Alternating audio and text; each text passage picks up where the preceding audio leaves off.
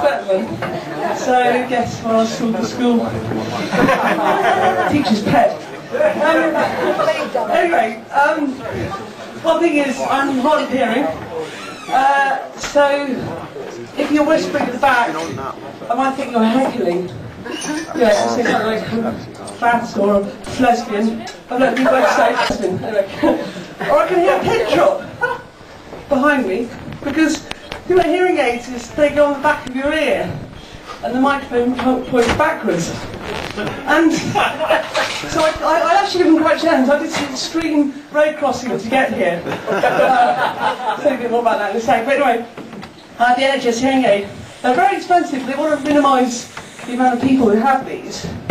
So, um, imagine you wear glasses. Well, you wear glasses, certainly. I can see you wear glasses. I can't see who wears lenses. My eyesight isn't that good. But um, if instead of actually using your eyesight, they actually put antennae on your head. That's what the equivalent to a hearing aid and sort of signals it to your brain by Morse code.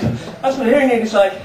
So, um, you're walking down the road and you hear this beeping lorry down the half a mile down the road, beeping, and you leap out of its way straight into the path of a approaching car. Is anyone hard of hearing here tonight? Yeah, that's my point.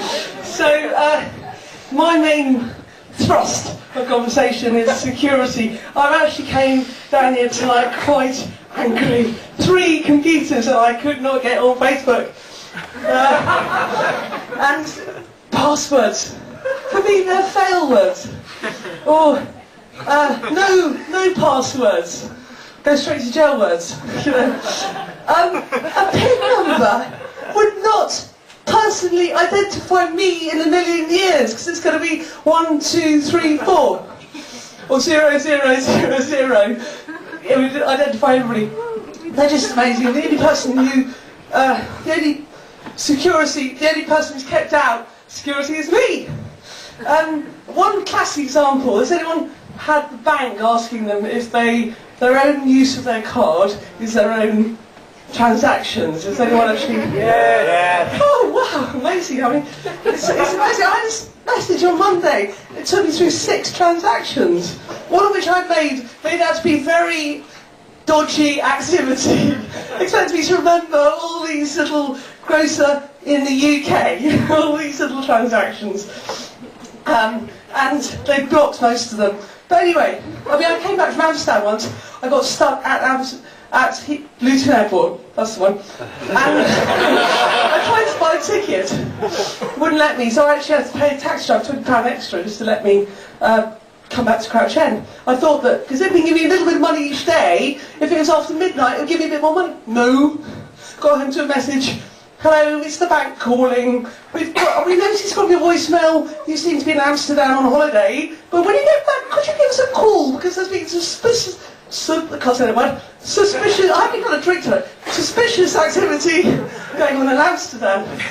Now, there's some extra activity in Amsterdam and activity in End. Perhaps there could be some suspicious activity going on.